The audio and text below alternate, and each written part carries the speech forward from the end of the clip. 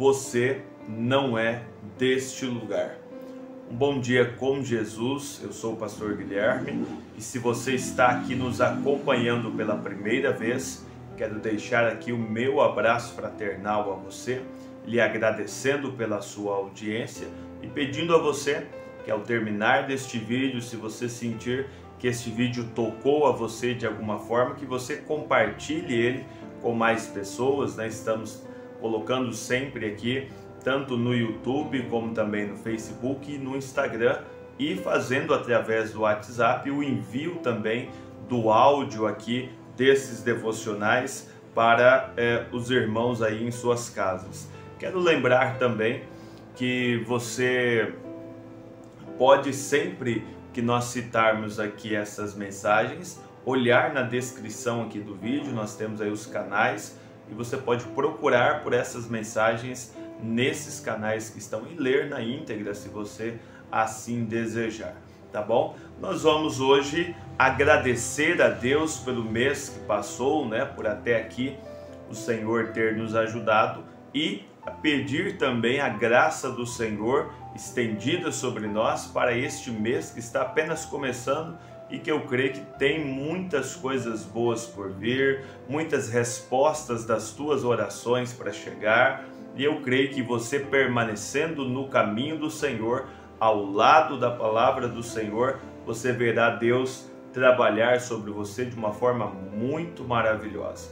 Pois bem, nós vamos meditar um pouquinho hoje em Filipenses capítulo 3, versículos 20 e 21. Diz assim: Mas a nossa cidade está nos céus, de onde também esperamos o Salvador, o Senhor Jesus Cristo, que transformará o nosso corpo abatido para ser conforme o seu corpo glorioso segundo o seu eficaz poder, de sujeitar também a si todas as coisas.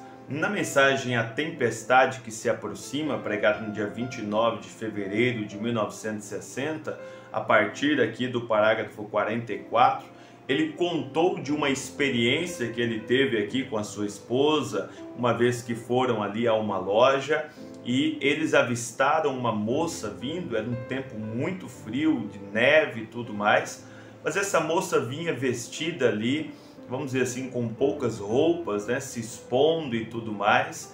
E a sua esposa disse para ele: Olha, mas que, como pode uma pessoa viver assim, sabe? Ter esse tipo de comportamento, né? Sabemos que isso hoje na sociedade foi extremamente normalizado, mas naquele tempo, estamos falando de um ano, muito conservador ainda, de muita ética, de muitos respeitos ainda ali na sociedade, e aquilo era visto assim como algo inimaginável, algo estranho. E ela conversando isso com ele, ele disse: Olha, isto é o espírito que está na nação. A nação gosta disso, é o que a nação clama, é o que eles querem. E nós podemos sempre é, olhar para estas coisas e trazer isto para nós e pensarmos assim que cada nação no mundo tem é, o seu comportamento. Nós somos conhecidos aqui no Brasil, no exterior, aí fora, como a terra do carnaval, das festas, do povo bem receptivo, e isto é uma marca do brasileiro sabe? Não importa o que venha pela frente, desde que tenha ali uma festa, desde que tenha ali alguma coisinha para agradar, né? Um pão e um circo ali, então tudo está bem para nós. Isto é de gerações, isso não é um problema é, exclusivo de um tempo, de uma época, de uma década, isto é de muitos e muitos anos. Pode um dia mudar? Pode, mas esta é a característica de uma nação sabe, que gosta das músicas, de muita cultura e no sentido das músicas, né, de vários segmentos religiosos, uma vez que o nosso país é praticamente um continente aqui, então há uma variedade muito grande de coisas. Mas a gente deve lembrar que no meio de tudo isto, você precisa lembrar que você é um cristão no meio dessas coisas. Você está aqui como um peregrino. Você está de passagem por este lugar. Você não é um morador daqui. E isso nos ajuda a entender muitas decisões que a nação toma, que a sociedade toma, que o mundo hoje decide ter. Sabe, você olha para o mundo hoje e há uma, vamos assim dizer, uma legalização daquilo que é errado. Há ali um apoio para aquilo que é infundado nas escrituras. E isto vem o mundo inteiro achando isso normal, achando que o consumo de drogas é normal, que a violência faz parte, não há o que ser feito. E isso não é dito logicamente, abertamente às pessoas, mas está na sociedade. Está sendo feito isso no mundo. Esqueça o nosso país aqui, se pensar nisso a nível mundial, o mundo está indo para este lado. E aí você fica às vezes até em desespero e você diz: "Mas como pode tal situação acontecer?" Mas sabe o que acontece? Você tem uma visão celestial. Há em você um entendimento, a luz da palavra te alcançou. Você reconhece que por mais que estejamos aqui nesta terra, este não é o nosso lugar. De forma que os costumes aqui desta terra não pegam você, não impactam a você assim a ponto de te fazer mudar. Você olha, você acha estranho, você não concorda, mas você segue em frente, você não para, você não aninha nessas coisas. Então, esse é o ponto em que ele decidiu aqui, que ele comentando com a sua esposa, disse: Olha, nós só estamos vivendo aqui.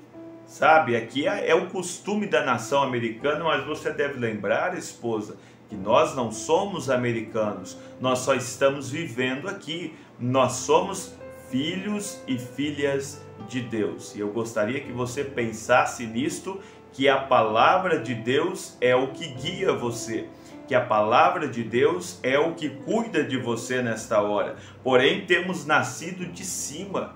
Lá é a nossa morada. Por isso que ao ler a Bíblia, a Bíblia não é escandalosa para você.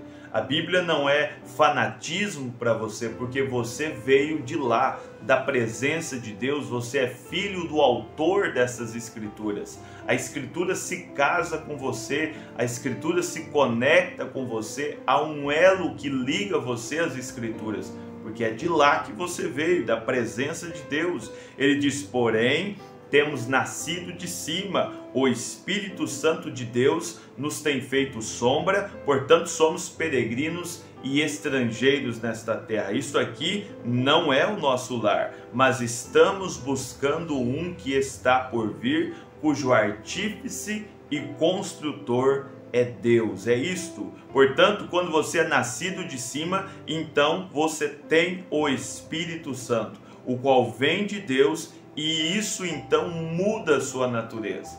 Você não está conectado aos prazeres desta vida. Não é interessante a você, não gera nenhuma sensação em você, não há uma vontade em você de consumir as bebidas deste mundo, de acender os cigarros deste mundo, de ir às drogas deste mundo de se envolver com os assuntos desta terra. Sabemos, e a Bíblia é clara em dizer que o mundo jaz no maligno. Está aí toda a sociedade em todos os cantos deste planeta, sabe, corrompido de alguma forma, quebrando alguma lei das Escrituras. E você precisa lembrar que o teu lugar não é aqui, que o teu lugar é na presença de Deus. E quando você vai à casa de Deus, a palavra alimenta você. Você se sente bem, você se sente reconfortado, você se sente livre. Por quê? Porque você sente que aquilo encaixa com você. É Deus completando o vazio da sua vida. Então não importa se fosse sua mãe, sua irmã, sua melhor amiga que estivesse vestida desta forma, porém o cristão, o qual é nascido de Deus, ele é nascido de cima as modas deste mundo não os atrai, os costumes e hábitos deste mundo não o prende mais. Ele se viu livre, ele enxerga algo muito melhor do que isso, ele valoriza algo diferente do que o mundo valoriza. A sociedade está valorizando a aparência, está valorizando o status, está valorizando apenas a vida financeira, mas nós estamos valorizando outras coisas cuidamos da nossa saúde, cuidamos da nossa aparência, cuidamos da nossa vida financeira, mas cuidamos principalmente da nossa vida espiritual. Então, já ele diz: nós somos nascidos de Deus e a simplicidade do Espírito Santo vem para segui-lo e vigiar e vigiar como é que atua e ainda faz com que você se porte bem. Este Espírito Santo veio aqui cuidar de mim, de você, um consolador enviado, nos guiando em toda a verdade. Eu espero que você compreenda que o que Deus tem para você é muitas vezes melhor do que o que a sociedade está lhe oferecendo nesta hora. Não se venda a nada neste mundo, não se compare a eles, não queira viver a vida de um brasileiro, de um americano, de um europeu, porque você não é isso, você é um filho de Deus e você foi chamado para viver como um filho de Deus. Lembre disso, coloque isso em teu coração. Eu sei que quando falamos isto, as pessoas simplesmente rejeitam. O irmão Brana vinha dizendo aqui um pouco antes que quando Noé surgiu e começou a anunciar e dar os avisos de uma grande tempestade que se aproximava, ninguém queria ouvi-lo. Ninguém quis parar ali, ajudá-lo a se preparar, a construir uma arca, sabe, a, a proteger a sua família. Era apenas festas, era apenas bebidas, casavam, davam-se em casamento, era só isso que lhes interessava, os prazeres desta vida sem cuidar do espiritual. Sabemos que a sociedade hoje pensa desta mesma forma. Estamos aqui no mês de novembro, e em muitas cidades, inclusive a nossa aqui, há ensaio já sendo feito para um carnaval de fevereiro. A sociedade tem isto em mente, gosta disto, quer isto e é o que eles têm para eles. Agora, cabe a mim e a você saber o que Deus deixou para nós e agarrarmos nisto e saber: olha, esta é a porção que Deus me deu e eu vou segurá-la até o fim. Noé, de pé ali na porta da arca, ele era a única via de esperança, de segurança que havia para aquele povo. A sua mensagem era constantemente rejeitada, seus avisos eram constantemente rejeitados, mas lá estava ele no posto de dever. Você, como um cristão, entenda isso: que não importa os caminhos e os rumos que a sociedade decidir tomar daqui para frente, continue sendo um verdadeiro cristão continue sendo um verdadeiro homem de Deus, uma verdadeira mulher de Deus, seja aquele que mostra às pessoas que há uma vida diferente, que você não é deste mundo. Sabe quando chegava num lugar e as pessoas não te conheciam e de repente diziam: Ei, você é um cristão, não é? Eu vi que você é diferente eu vi que seu comportamento é diferente quando você mudava de trabalho, sabe? Essa, essa mudança, essa, essa visão que o mundo tinha do crente precisa voltar. Se você perdeu isso, é hora, use isso como um recado, como um aviso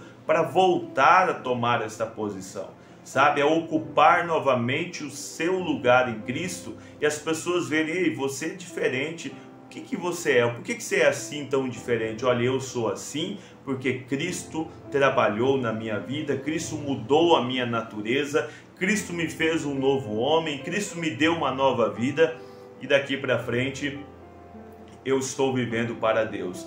E isto talvez seja o suficiente para que corações sejam impactados e vidas sejam mudadas. Irmão, um, um sermão pregado é muito bom, uma pregação aí é, é feita na igreja é maravilhosa, mas o seu testemunho diário causa um impacto talvez até maior do que a própria pregação feita lá na igreja. O teu testemunho não é de um de outro, não, não fique aí pensando no irmão fulano, pense em você. Qual é o testemunho que você como filho de Deus está deixando? É um testemunho de brigas? É um testemunho de intrigas, de ofensas? Sabe, de, de contendas, hein? de discussões, de inimizades, brigando com o pai, brigando com a família, brigando com os parentes. Qual é o teu testemunho cristão que você está deixando para essa sociedade? quando você conseguir responder essa questão, você vai ver então um rumo se abrindo para você, porque se você mantém o seu bom testemunho,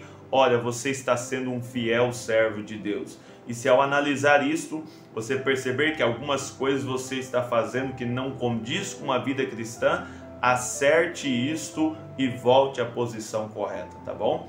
Relembrando que passamos aqui nos nossos devocionais, você que acompanha em vídeo, o endereço de alguns tabernáculos também aqui em nossa região, e eu gostaria que você é, que mora nessas re, re, é, regiões e que não tem nenhuma igreja para ir ou que está afastado, volte aos caminhos do Senhor, participe dos cultos, entregue sua vida ao Senhor, porque a hora vem chegando em que você precisará de tomar uma posição. E eu espero que a sua posição seja ao lado de Cristo. Amém? Vamos orar. Amado e eterno Senhor, graças te damos, ó Pai, por tudo que o Senhor fez por nós neste último mês e já agradeço também pelo que eu sei que o Senhor fará por nós neste mês que está começando, continuando cuidando de nós, providenciando o pão de cada dia, nos dando saúde e graça, abençoando, ó Deus, cada decisão que tomamos. Eu lhe agradeço por tudo. Coloco minha vida em tuas mãos, em nome de Jesus Cristo. Amém, Senhor. Amém.